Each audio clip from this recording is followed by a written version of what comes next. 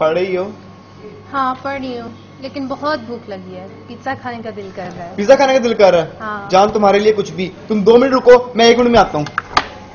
20 minutes later. जान गर्मा गर्म पिज्जा तुम्हारे लिए।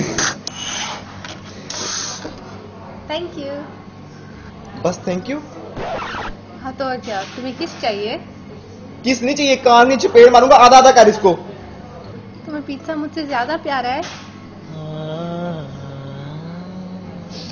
ये क्या कह दिया तुमने?